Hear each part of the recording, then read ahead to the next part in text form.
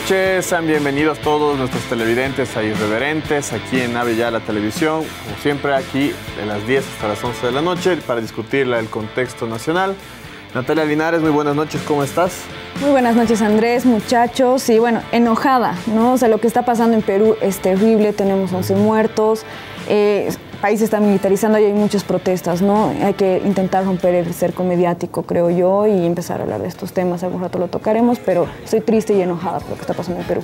Si no me equivoco, era antes de ayer o ayer que tocábamos un poco el tema de Perú y estábamos entre las seis muertes, según la Defensoría del Pueblo de Perú, pero se estimaban que siete, ahora ya estamos por las... 11, 12, no sé. 11, 12 muertes. Está, está escalando el conflicto, no, no parece suceder. Pero bueno, Alen Kisber, muy buenas noches. ¿Qué tal, Andrés? ¿Cómo estás? Natalia, Rodi, de tanto tiempo, gusto en verte. Eh, bueno, muchas gracias por seguirnos en el canal. Igual creo que es una preocupación a nivel Latinoamérica lo que está pasando en, en Perú. Si bien no lo tocamos ahora, creo que es un tema que en casa y en otros escenarios donde se pueda, se lo debe tocar y tomar una posición obviamente a favor de la no matanza por lo menos. Y Rodi Martínez, qué gusto tenerte nuevamente. Muy buenas noches. Muy buenas noches a todos los televidentes y es un gusto para mí estar acá compartiendo otra vez el, escenario, la palestra para seguir debatiendo y ser más irreverentes que nunca. totalmente, totalmente. Bueno, eh, ya se mencionó harto de Perú, lo estaremos tocando quizás en la segunda mitad del programa o en los últimos 10 a 15 minutos, pero el día de hoy queríamos volver a la discusión política en, en Bolivia y hablar de lo que fue hoy día la aprobación en detalle y en grande de la Cámara de Diputados del presupuesto general del Estado para el 2023. Ha sido, vamos a decir, una aprobación turbulenta de, este presupuesto. Hubieron muchas y cuestionantes, muchas explicaciones. El día de ayer el ministro de Economía y Finanzas, Marcelo, eh, perdón, Montenegro fue y explicó a la Cámara de Diputados cómo iba a subir el presupuesto, dónde se iban a hacer los gastos y bueno, hoy día se logró aprobar el presupuesto. Entonces, bueno, eso nos da margen para discutir justamente cómo fue el proceso político de aprobación, al mismo tiempo de las características de lo que va a ser el 2023 este presupuesto. Y bueno, por ahí vamos a empezar. Adelante con, con nuestra nota y empezamos la discusión. El sistema falla. Los diputados y las diputadas que estén de acuerdo con la verificación del voto, lo que significa votar por la aprobación en grande de la presente ley, sírvanse levantar la mano. Mantenerse ahí, señor secretario, cuente e informe, por favor. Calma, calma.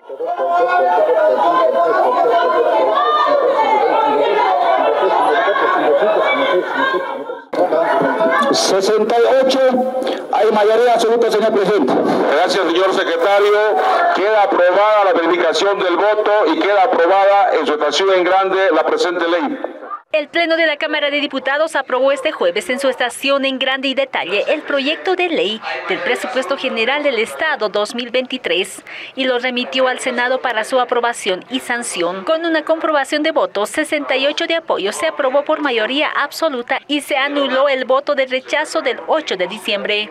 Quiero decirle que hemos aprobado el presupuesto general del Estado en estricto apego a lo que establece la Constitución Política del Estado, en estricto apego a lo que establece nuestro reglamento de debates, en estricto apego a lo que dice el artículo 110 del mismo y esa norma ya ha sido remitida a la Cámara Alta, a los senadores. Nosotros sabemos que nuestros senadores son personas también comprometidas con el país, con nuestro pueblo y por supuesto la tratarán de acuerdo a sus normas vigentes. Tras la deliberación, la norma que contiene siete artículos, dos disposiciones adicionales, nueve disposiciones finales y una disposición derogatoria y abrogatoria fue aprobada en su estación en detalle. Cumplido el procedimiento legislativo, el presidente solicitó al secretario de la remisión del proyecto de ley al Pleno del Senado para su revisión. Recordemos que el presupuesto general del Estado perfila un crecimiento del Producto Interno Bruto de 4,86% para el próximo año. Habíamos dicho, presidente, que los objetivos del presupuesto era garantizar la estabilidad macroeconómica y la sostenibilidad de las finanzas públicas como primer elemento en un contexto donde el mundo está atravesando una crisis internacional.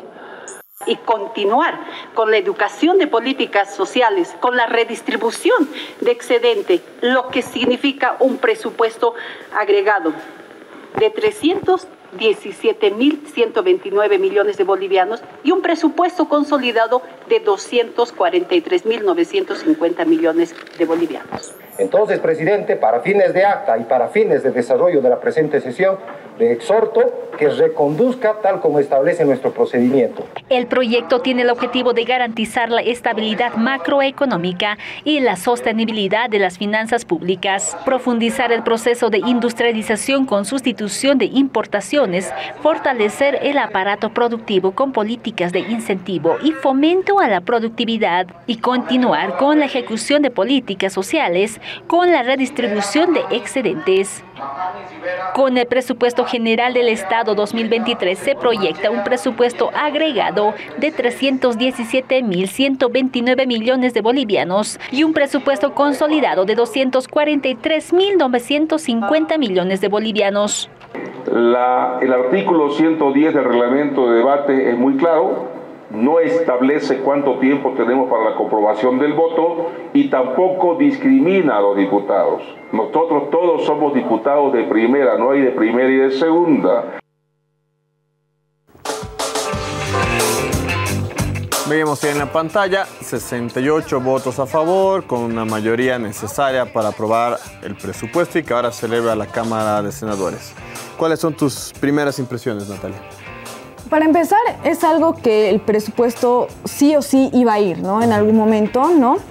Estábamos hablando de que es más que todo una formalidad aprobar el presupuesto general del Estado desde el Senado, pero si no, siempre hay disposiciones de que esto pueda ser. En realidad ya íbamos tarde con la aprobación de esto, ¿no? Eh, creo que ha sido un intento medio soso por parte de Creemos y de Comunidad Ciudadana de obstaculizar esto, porque recordemos que ellos han mantenido el rechazo hasta el día de hoy en una discursiva de querer cambiar un poco la situación, los objetivos, descentralizar, ¿no? Pero por mucho no estamos viendo que no es, que ha sido algo más simbólico que algo técnico. Esto era algo netamente técnico. Y por último, no hay cambios, según hasta donde sé, los cambios que hay entre el, rechazo que hubo hace un par de semanas al de hoy, no hay grandes cambios. Seguimos viendo que hay prioridades en el tema de educación y salud, se sigue priorizando el 10% del presupuesto, 10 y pico, y es algo que ha sido una de las tendencias a lo largo de los años en todos los gobiernos del movimiento al socialismo, ¿no? No, creo que no hay sorpresas, he intentado debatir algo que no tenía mucho margen de debate. Quizás un poco por ahí para empezar.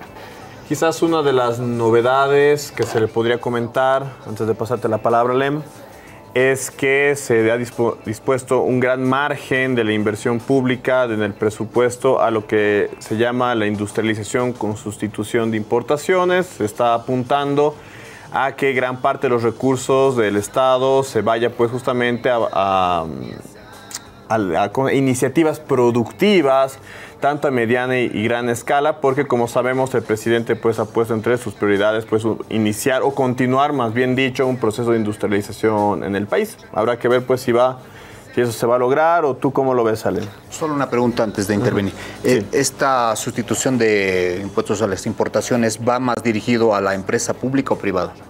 Privada, privada y pública también. Y pública también. Por ejemplo, en la, en la público se tienen ingenios como por ejemplo lo de litio, como lo de la uria, y privadas se tienen distintos créditos como el CIBolivia, Bolivia, destinado a que pequeños productores puedan importar maquinaria, por ejemplo, para la producción.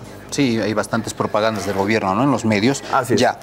Eh, es interesante. A ver, uno el escenario político-económico y otro el escenario político-partidario. En el político-partidario, partamos de eso. Me gusta eh, cómo el mismo movimiento al socialismo ha empezado a retrasar la aprobación del, presupuesto general del Estado. Entonces, esto obviamente es una muestra más de, las, de ciertos rencores y egoísmos que hay al interior del MAS. Quiero recalcar algunos términos que se ha ido utilizando en las últimas dos semanas, no más de ello. De un sector hacia otro sector y usted lo va a identificar. Eh, traidores, oportunistas, antipatrias, eh, renovadores como insulto, narcotraficantes y el que más me gustó, prostitutos. Que le digo, que le dijo una ala del movimiento al socialismo hacia otra ala del movimiento al socialismo y usted sabe qué ala a qué ala. Eso me parece interesante porque eh, muestra que el interés partidario no es un interés estatal. El interés partidario es un interés meramente partidario, que responde más al interés de un caudillo en contra de otro caudillo. Y eso me parece peligroso porque no están viendo la complejidad nacional en diferentes escenarios. Eh, hablando de lo económico político, económico, para anotarme. Eh, el discurso, por lo menos hasta el 2016, diría yo, porque después de eso empezó a mutarse, fue nacionalización e industrialización. Fue uno de los dos eslogans que el movimiento al socialismo se los, se los apropió del legado histórico post-52. Entonces la nacionalización y la industrialización eran como nuestra última carta como bolivianos para mejorar nuestra economía individual, empresarial, colectivo, clases medias, obreras o burguesía. Eso era muy interesante, le hemos puesto fe en muchas décadas, por lo menos dos generaciones han luchado o hemos luchado para la nacionalización y la industrialización. Se logró, obviamente el movimiento al socialismo no va a decir tenemos la planta de Uria y otras empresas y demás, pero seamos objetivos y realistas. No lo vemos efectivamente estas empresas. Puede ser que sí, pero no las estamos notando como empresas competitivas en el sistema de mercado contra las empresas privadas, contra las transnacionales u otro tipo de economías. Y eso hay que rescatarlo. Esto ha sido sustituido por algo que me preocupa. Es el estabilidad económica. Y esa estabilidad económica eh, se ha notado que va dirigido hacia dos escenarios. Un primer escenario es exportar o morir tenemos la minería, tenemos la, la, tala de árboles, tenemos materia prima en grano y otros escenarios donde solo es materia prima a exportación. ¿Dónde quedó la industrialización en ese escenario? Y eso es preocupante. No funcionó, no va a funcionar. Incapacidad de Estado, usted lo va a poner en consideración. Entonces, esta explotación de materia prima y, venta al, extranjero, obviamente, solo en materia prima, es un desmérito económico para nuestra realidad.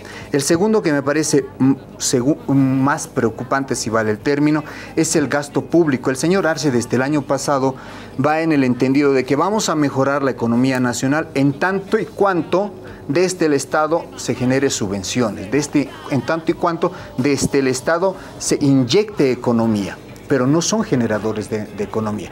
Un burócrata, un administrador o un tecnócrata, según se lo quiera llamar, es, eh, no genera economía, genera circuito económico, igual que el comercio. No genera economía, generan un circuito económico, que es muy interesante a analizarlo. Pero esto está sujeto a la subvención, a la inyección económica del gasto público no hay generación de economía porque no hay exportación desde este punto de vista. Por último, ya lo dijo el compañero Andrés, todas las políticas del gobierno, o por lo menos en este escenario que ha planteado antes de mi intervención, es inyectar o facilitar las mejoras económicas a la empresa privada, principalmente. Por consecuencia, y ya lo hemos debatido, el mismo compañero Javier lo ha aceptado, que la empresa privada del grano, soyero o demás de Santa Cruz tienen mejores ganancias que la exportación del gas. Entonces, ¿qué está funcionando más? ¿Las empresas públicas del Estado o la empresa privada? Eh, tengo mis observaciones, pero voy a dejar aquí que el economista tome la palabra y, de ahí vemos. Sí, vale. Bueno, creo que lo primero que hay que evaluar en esta situación de la aprobación del presupuesto general del Estado es que eh, los únicos participantes y los únicos que han tenido voz a voto, por mucho que muchos lo quieran distraer como una resilla política entre renovadores o radicales y demás, es el movimiento al socialismo.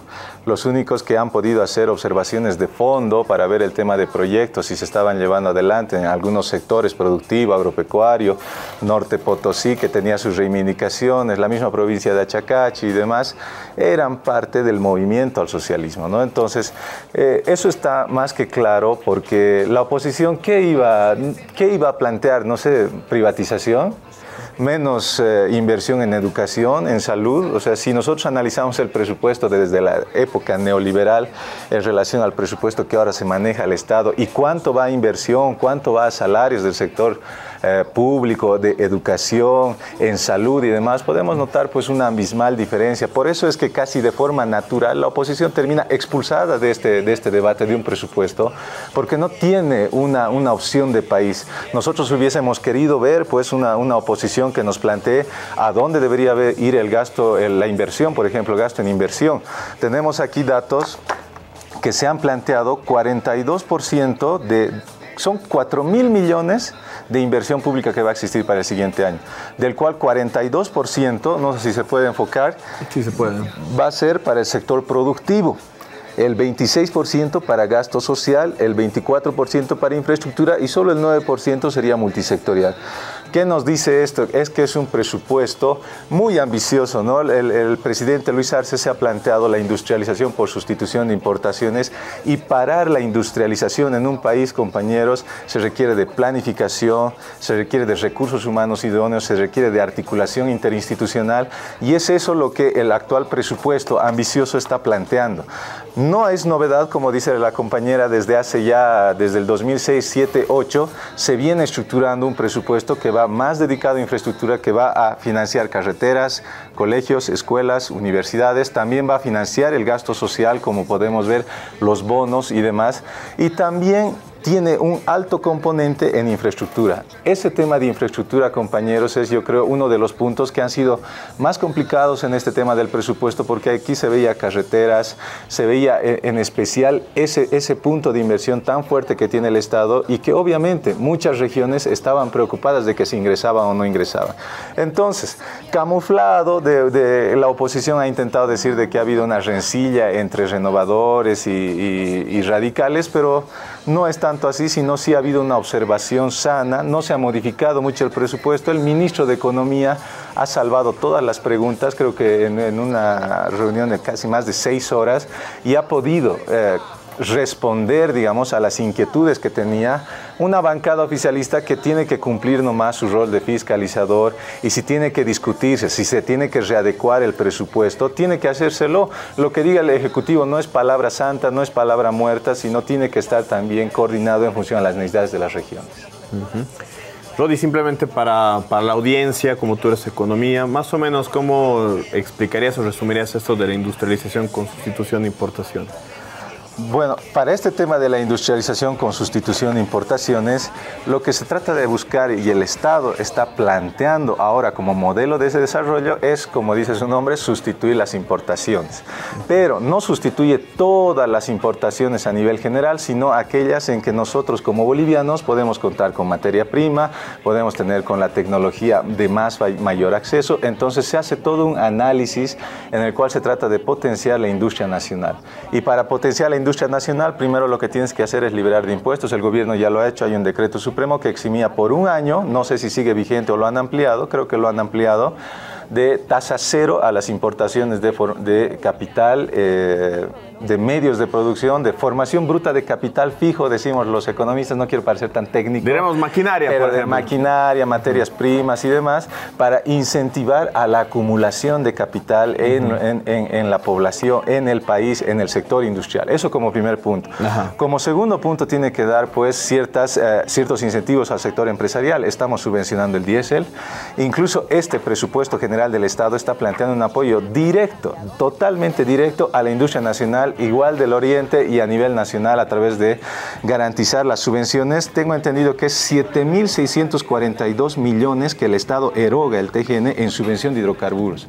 Y quienes se benefician en el aparato productivo es pues eh, la agroindustria, todos los que funcionan con tractores a diésel y demás. ¿no? Entonces se está dando los créditos y Bolivia es, es, una, es una conjunción de varias políticas económicas, tanto del lado de la oferta como de la demanda, que te permiten impulsar tu industria nacional. Es difícil, es complicado, si el Estado solo no lo puede hacer, el Estado puede hacer los procesos de industrialización macro, litio, mutum, eh, planta de separadora de líquidos y demás, pero ya tiene que iniciarse los eslabonamientos hacia abajo, que son incorporar al sector privado, incorporar a los empresarios, incorporar a los emprendedores, y para eso es pues que el presupuesto general del Estado está planteando claramente un impulso a la sustitución de importaciones, un impulso a la industria nacional y le va a meter no solo con palabras, le va a meter 4 mil millones a la economía para ese objetivo. El presupuesto es la cantidad que ingresa, la cantidad que se gasta, ¿para qué? Para lograr los objetivos de todos los ministerios, todo el aparato público que se tiene. Y el objetivo central, la sustitución de importaciones. Perfecto, vamos a ir una primera pausa y enseguida vamos a retornar para discutir este elemento y algunos también que mencionó Ale. Estás viendo Avia Yala Televisión, un continente de culturas. Continúas viendo Avia Yala Televisión, un continente de culturas.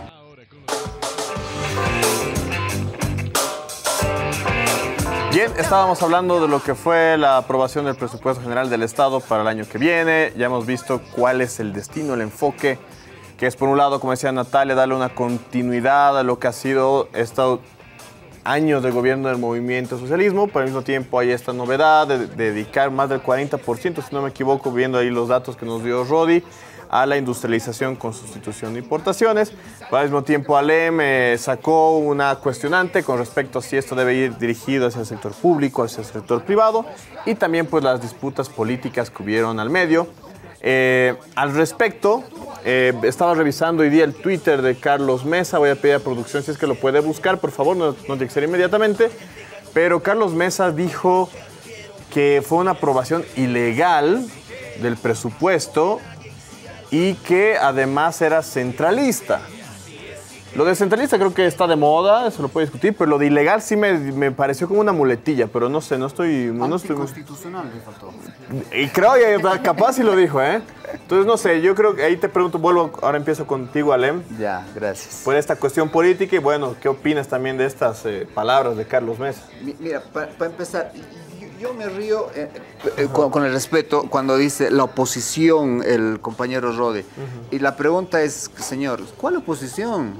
¿Cuál es la oposición que tenemos? ¿Quién? ¿Comunidad ciudadana? Si no está papá Carlos Mesa, no hay comunidad ciudadana no hay oposición. Creemos, está nomás queriendo de batallar, creo que tiene mayores lucidez, mayor lucidez que Comunidad Ciudadana, pero tampoco es un partido o una organización partidaria que genere una agenda política del qué queremos, qué cuestionamos y qué proponemos. No hay. Bajo este criterio, me parece gracioso que sigamos hablando de la oposición. Es más interesante hablar del MAS, porque el MAS en sí mismo se constituye en opositor y son ellos quienes guían tanto el conflicto social cotidiano como las batallas que se dan en el hemiciclo. Entonces, es más interesante hablar del señor Evo en muchos casos.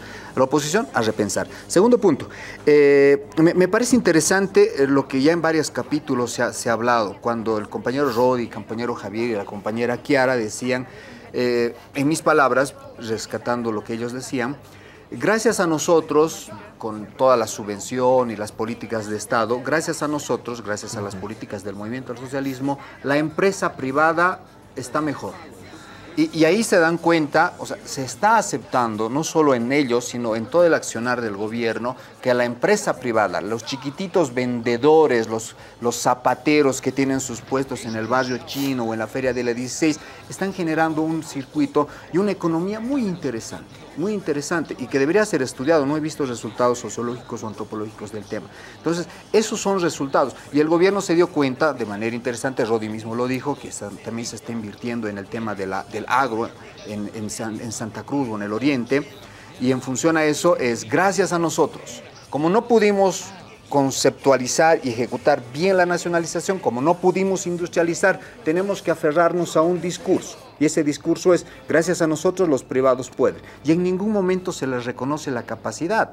Seamos honestos, hacer una empresa, ya sea vender pollos en cualquier zona o hacer una pequeña industria de calzados, cuesta cuesta trabajo, jornadas laborales de más de 16 horas. Y eso el gobierno no lo reconoce, dice gracias a nosotros. Me parece muy desleal. Por último, eh, me parece muy, muy, muy interesante el presupuesto que nos plantea Rodi, el más del 40% para, para la reactivación de la economía privada y pública, pero no se hizo el mismo discurso cuando dijo vamos a industrializar el agro y el papá de la señora Salvatierra eh, no sé qué término utilizar, eh, se llevó 40 tractores a su propiedad o están en sus manos, no se supo hasta dónde llegó, no fue bajo el mismo discurso de invertir en el agro que el fondo indígena se convirtió en un nido de corrupción. Entonces, 40% del presupuesto se irá para ejecutar y reactivar la verdadera economía nacional o tendrá otros resultados.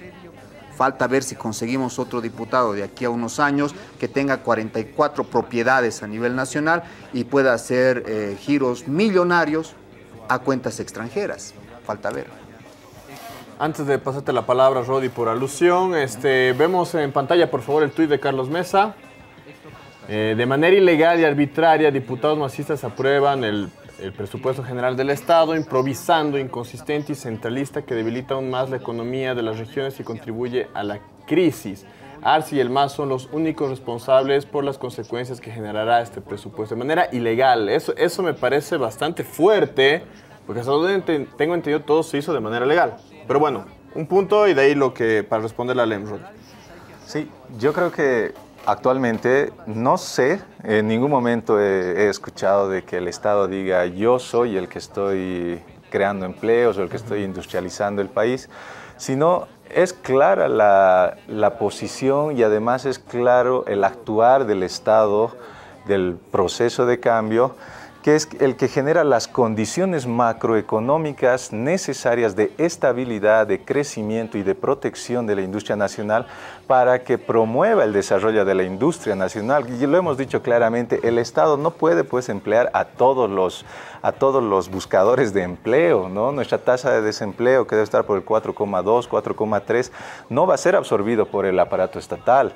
Entonces, lo que hace el Estado es generar procesos en infraestructura para que haya caminos y que, bueno, pues lo que te tardabas en 12 horas eh, llevar tu cargamento de papa, lo puedas hacer en 4, lo puedas hacer en 3, haya mayor rotación de capital. Es decir, la función del Estado es primordial, porque si Alem nos dice que en estas condiciones actuales, armar una empresa es un esfuerzo descomunal. Imagínense en el 2001, en el 2002, en el 2003 sin inversión, sin mercado interno, sin sueldos altos, sin carreteras, sin aeropuertos, sin toda una infraestructura logística que te permita hacer exportación, importación de materias primas para reducción de costos. Imagínense cómo era de imposible parar una industria nacional cuando no teníamos una estabilidad macroeconómica, el tipo de cambio se disparaba, la hiperinflación. Entonces ahí, ¿quién va a querer invertir? Nadie. Por eso es que eh, ese discurso que lo han ido utilizando reiteradamente de que los privados son los más perjudicados, de que la inversión eh, privada extranjera ya no iba a venir en Bolivia, se iba a escapar, caen, caen estrepitosamente porque más bien es en el gobierno de, Evo Morales en los 14 años y ahora con Luis Arce, donde se ven los mayores niveles de inversión extranjera y los, y los mayores niveles también de inversión privada. Ahora es cierto, nuestra, nuestra, nuestra, nuestro sector privado es pues débil, no puede ser punta de lanza todavía del proceso de industrialización, hay que empezarlo a nutrir, hay que empezarle a dar fortaleza, que saque músculo y para eso está pues el Estado iniciando los procesos de acumulación de capital. El Estado es el que hace esfuerzo para los privados. ¿Quién es el que paga las subvenciones? ¿Quién es, ¿Quién es el que garantiza? Gracias al Estado te pueden dar las condiciones para poder jugar un partido, para poder iniciar la carrera. No vas a poder iniciar la carrera si no tienes una pista para correr en primer lugar. Entonces, no es eh, eh, antojadizamente de que el Estado se hace cargo o, se, se, endiosa o se vanagloria de los resultados, sino el Estado es el que está dando la estabilidad macroeconómica para que los privados empiecen a activar. Y eso es difícil porque cuando tú ves qué necesitas para un proceso de industrialización, necesitas que las universidades, por ejemplo, se sumen al proceso de industrialización. El Estado gasta tanto dinero en formar a profesionales y estos profesionales al final no terminan siendo absorbidos por la empresa nacional.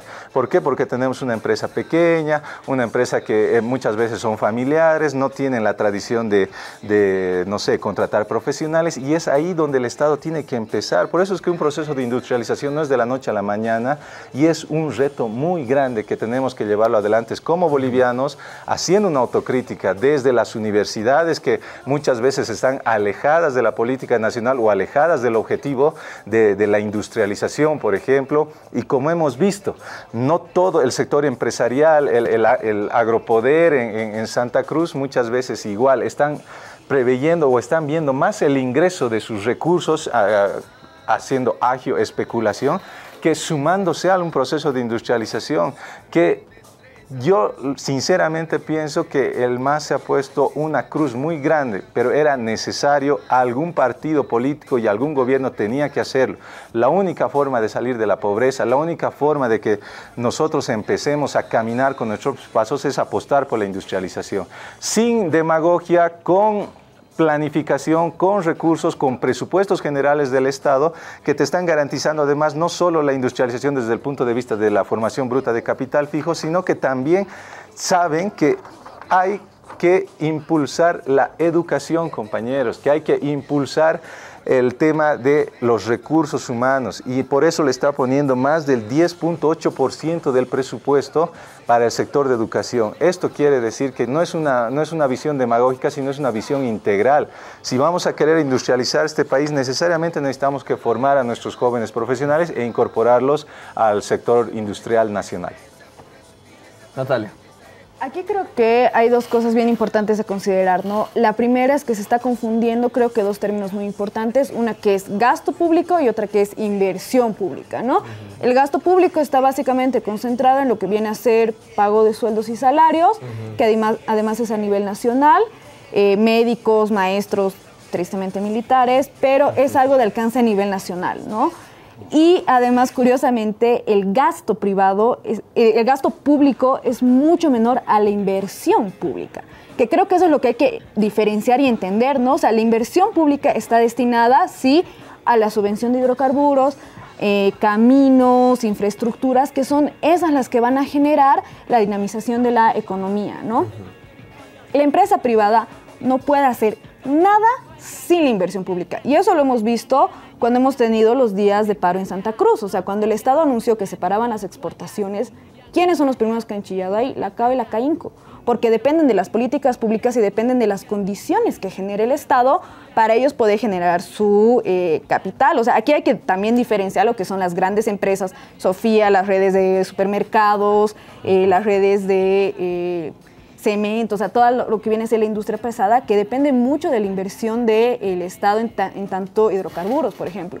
Y las pymes sí se benefician, pero en otros niveles. Incluso en eso hay que em-, empezar a diferenciar lo que viene a ser eh, la inversión pública, ¿no? las empresas, las pymes se benefician más de, por ejemplo, de mejores condiciones de carreteras, de mejores condiciones de infraestructura.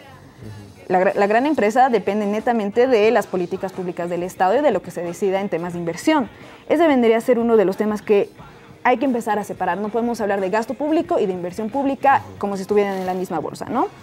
Segundo, a mí me encanta cuando Carlos Mesa sale a decir algo sobre el presupuesto general del Estado. Recordemos que en su época, quien hacía así decía, tengo que pedir a las organizaciones internacionales para que me paguen salarios. En su, época, en su época no había ni siquiera para gasto público, menos gasto ordinario, ¿no? Exacto, no había. Tenías que pedir y tenías que ser un limosnero, como era Carlos Mesa, y menos iba a haber para, para inversión pública. El tema de la nacionalización es sumamente fundamental empezar a entenderlo. Sin la nacionalización no tendríamos los recursos que hoy tenemos para la inversión pública. Es uno de los puntos más importantes, porque las condiciones, si el Estado no te genera las condiciones de salud, de educación, de infraestructura, no vas a poder sacar nada, lo que Rodri muy bien lo explicaba en su momento. La iniciativa privada en los 90 y a principios de los 2000 era obviamente mucho menor porque no tenían las condiciones y nunca pudieron generar las condiciones. O sea, venimos arrastrando un Estado, eh, además que el Estado antes del 2006 era totalmente ausente, que no podía generar condiciones eh, para el desarrollo del país, por lo tanto, ¿qué es lo que se ha hecho en los últimos años? Generar esas condiciones. Obviamente el presupuesto destinado a carreteras e infraestructura era altísimo porque tenías que subsanar necesidades básicas, ¿no? Empezar a generar colegios, postas médicas, incluso algo tan básico que parece el tema de la carnetización ha sido por el gasto en inversión pública, que es gracias a la nacionalización que se tiene esos recursos. Y hoy por hoy ya puedes empezar a pensar en lo que tanto tú y Rodri decían, ¿no? Eh, sustitución de importaciones, industrialización, porque ya hemos podido saldar lo que son las necesidades básicas. El Estado estaba ausente y hoy está presente a través de muchos mecanismos diferentes. Entonces no es menor el gasto, la inversión pública que se hace en el país y no es menor quienes se adscriben a esta inversión pública y dependen netamente de ella, especialmente la gran empresa, porque las pymes son otra cosa, por ahí. Bien, eh, Este presupuesto va a subir a la Cámara de Senadores, seguramente ahí tendrán otras discusiones, quizás otras observaciones, otras votaciones. Y bueno, de ahí será promulgado y veremos pues el seguimiento. Además, ahí ya el spoiler, muy pronto tendremos datos actualizados de la ejecución presupuestaria. Más bien sería un trailer de ejecución presupuestaria en los distintos departamentos.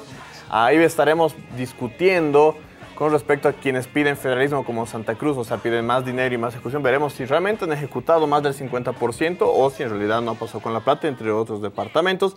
Por el momento vamos a dejar esta discusión acá y vamos a aprovechar estos últimos 10 minutos para actualizarnos con lo que pasa en el país vecino y hermano del Perú, que es algo que realmente nos preocupa muchísimo y es algo que tenemos como latinoamericanos estar observando. Em, les doy la palabra.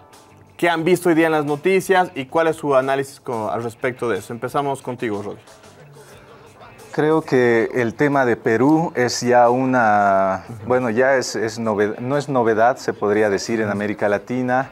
La verdad, cuatro, seis presidentes en cuatro años, ya me parece, me trae recuerdos a, Bolivia en la época en la cual había quiebre cuasi institucional, una crisis de Estado eh, totalmente eh, deslegitimado por parte de las, de las grandes mayorías de un país que no se ven representados en un Estado, ¿no? Entonces, por eso hay, tanto, tanta inestabilidad política y eso quiere decir, es un mal síntoma, quiere decir que algo está mal con el Estado peruano. No puedes tener seis presidentes en cuatro años. Ahí tiene que haber una reconfiguración profunda. Creo que el, el gobierno del presidente Castillo, ha ingresado con harto apoyo popular, pero es el Parlamento el que le está, le está trabando, es un Parlamento desde que ha iniciado, creo que ya han hecho dos mociones de vacancia en, un año y medio, ¿no? esta iba a ser la tercera antes de que la diluya, tengo entendido, entonces me parece que ahí... la oligarquía limeña tiene mucho, mucho que ver, yo creo que son las clases dominantes del, país peruano que está frenando estos intentos de la sociedad de querer un cambio. Si bien no lo han hecho desde el Parlamento, pero sí han podido eh, poner a un presidente, ellos están saliendo legítimamente a defender el voto democrático, están saliendo legítimamente a defender una visión de país diferente, que era lo que estaba encarnando Castillo desde en su elección y desde que ha ingresado, ¿no? Más allá de que si haya sido reformista, si haya sido radical, menos radical y demás, él estaba ahí por voto popular. Y si no van a reconocer el, Parlamento y demás e, e, ese voto popular, pues el, pueblo lo hará reconocer en las calles. Lastimosamente, sabemos que todo Estado tiene su aparato coercitivo, tiene sus Fuerzas Armadas, su policía, que muchas veces han estado al lado de la clase dominante. Y en este caso creo que se están volcando a los intereses de la oligarquía limeña, que no quieren ningún cambio, por muy pequeño que sea, de eh, timón de lo que ha sido la política económica, al menos de Perú, en los últimos 10 años. Me acuerdo ahorita que estabas mencionando los eh, cinco o seis presidentes en cuatro años que te recordaba Bolivia, hizo un pequeño recuento. Del 2000 al 2005 tienes a Banzer, del 2000 2021 Tuto, 2022 eh, Goni, de ahí 2002, perdón, Goni, 2004 Mesa, 2005 Rodríguez Belce. Tienes cinco presidentes en cinco años. Formando Bacadíes, ¿no? Eso ser, no fue, ¿no? Formando Bacadíes lo sacaron, no, no lo permitieron sentarse. sí, tienes razón. Sí, como... Cinco en cinco años, impresionante. Y de ahí que vino una constituyente, otro paralismo, ya están pidiendo constituyente. Miren ahí estas, estas cuestiones ahí históricas. Dale, Sí, eh, mira. ¿Será coincidencia? el mundo es cíclico, ¿no? La política más aún. Eh, me parece interesante la interpelación que se está haciendo de, la complejidad social hacia el Estado y hacia sus mismas instituciones. O sea, generalmente emergen caudillos, como el quiso emerger el señor Antauro Humala, y, se, apostó por él, y va, a llamar a una movilización, vamos a organizarnos a través de, ese, sujeto, pero no pasó eso. Entonces, él, bajo el criterio de los manifestantes, los traicionó y en función a eso la masa se empezó a desbordar. O sea, eso es antropológicamente es sorprendente, es excitante porque o sea, ves cómo el, el, complejo de la sociedad está interpelando algo que históricamente ha sido tu regidor, que es el Estado y sus instituciones. Y hoy por hoy estas instituciones muy coloniales, por supuesto, de toda Latinoamérica, inclusive Bolivia hasta ahora, están siendo altamente cuestionadas y se están reformulando formas de organizaciones culturalmente históricas. No sé cómo funciona allá, aquí tenemos los ayllus, obviamente desde el Perú también tienen esa reconfiguración, no sé cuál será su visión en la modernidad de estas estructuras culturales, políticas y económicas que se tiene, pero estas formas se están sobreponiendo sobre los estados ya caducos. Recordemos al señor Felipe Quispe, soy fanático de este sujeto en su base teórica y estratega, estratégicamente. Entonces, él decía la reconstrucción del Ailo, al igual que el señor eh, Fernando Untoja, desde la parte filosófica, no desde el cliché de la madre patria, la Pachamama y demás vainas que no funcionan. Pero sí Lela Ayllu desde la Administración Económica, Social y Política. Es fantástico. Yo eh, eh, sé que hay fallecidos y eso es lamentable. Hay jóvenes, casi niños de 15 años que han sido víctimas de la represión policial. Pero me siento orgulloso por el pueblo peruano, me parece muy, muy aplaudible lo que están haciendo, creo que van a ser el ejemplo de Latinoamérica porque están cuestionando no solo al tema de la estructura del Estado y las oligarquías, sino están cuestionando a partidos políticos, estrategas políticos, dirigentes políticos, han generado un caos que cuestiona el todo. Y eso es para aplaudir y bueno, me gustaría entender más del, del, conflicto peruano. No estoy en Perú, es lamentable, pero me siento muy emocionado por lo que está pasando en Perú y lamentar obviamente los muertos. Natalia. Eh, bueno, como lo mencionaba quizás al principio, me preocupa mucho lo que está pasando en Perú porque tenemos 11, 12 fallecidos, tenemos más de 100 heridos de bala, es decir, la fuerza militar y la fuerza policial están disparando a quemarropa contra el pueblo.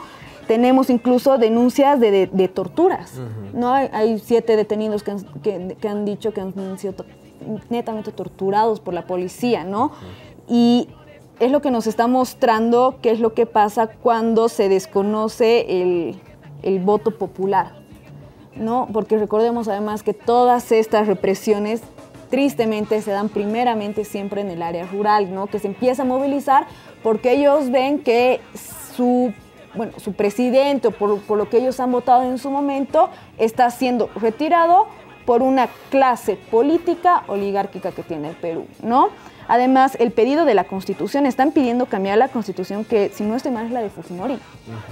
Y eso también nos está hablando de un estado de crisis pero no es cualquier crisis de Estado, es la crisis del Estado neoliberal. Recordemos que Perú, al igual que Chile, tiene una tradición neoliberal altamente grande. Una continuidad. Una continuidad que, que viene, que, no, que es uno de los pocos países que no ha logrado romper en este bloque de, izquierdas que ha venido estos últimos años, ¿no?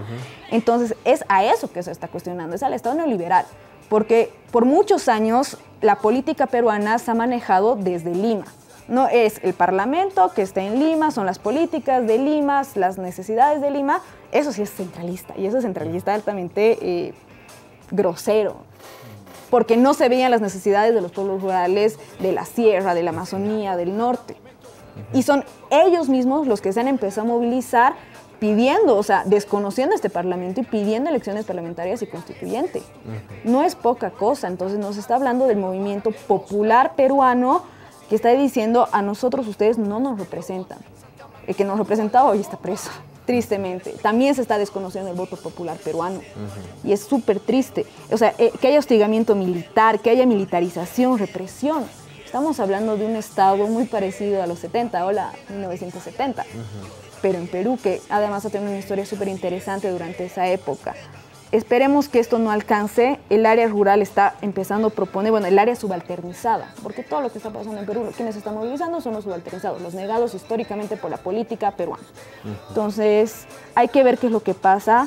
Ojalá el Parlamento escuche y, se haga el llamado a las elecciones parlamentarias y, que haya eh, inicie un nuevo proceso constituyente, que creo que es necesario porque además se está empezando a pedir, ya se han escuchado cosas de plurinacional, se están escuchando cosas de... Eh, nueva redistribución de recursos, de otros sectores que están empezando a hablar.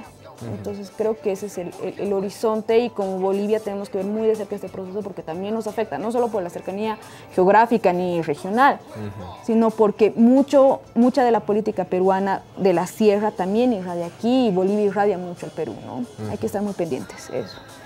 Recuerden todos estos paralelismos que estamos viendo, tanto históricos como quizás del momento contemporáneo político latinoamericano. Lo tendremos que hablar en su momento. Eh, ahorita, como decía Rodi, el Pedro Castillo está pagando que su Congreso sea más fuerte y que, bueno, dada la configuración constitucional del Perú, realmente es capaz de ser ingobernable para el Ejecutivo, para el presidente. Pero lo mismo pasa en Chile, que tiene un Congreso adverso. Lula da Silva va a tener un Congreso adverso. Eh, Colombia, eh, Petro tiene un Congreso adverso, es una de esas características de la segunda ola que, bueno, valdrá la pena mucho discutirlo aquí en otro momento y de las promesas que hacemos en vivo y, las cumplimos aquí en Irreverentes. Pero por hoy vamos a quedarnos acá. Eh, muchas gracias, Rodi. Qué gusto volverte a tener acá. Te estaremos llamando nuevamente. No, muchas gracias a todos. saludos a todos los telespectadores. Y bueno, yo agradecido por la invitación y esperando una nueva invitación también. Totalmente. Y Natalia, Le, un gusto como siempre escucharlos. Eh, con nosotros esta mañana. Muy buenas noches.